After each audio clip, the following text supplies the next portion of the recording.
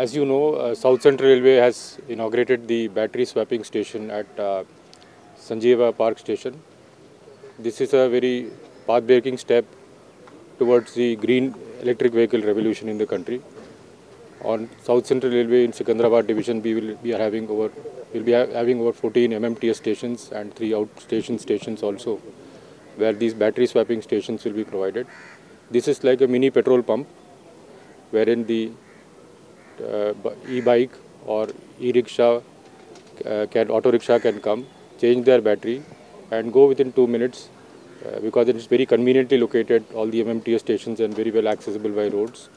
So it's a very good initiative.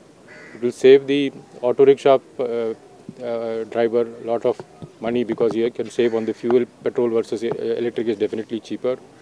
It also causes less pollution in the city. We are all in the city grappling with pollution. And also for railways, it helps us partner towards making Hyderabad a greener city. And we are proud to be associated with this. And I wish the venture all the success. Thank you.